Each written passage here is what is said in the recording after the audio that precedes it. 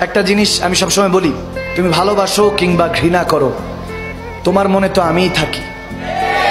তুমি ভালোবাসো কিংবা ঘৃণা করো, তোমার মনে তো আমিই থাকি।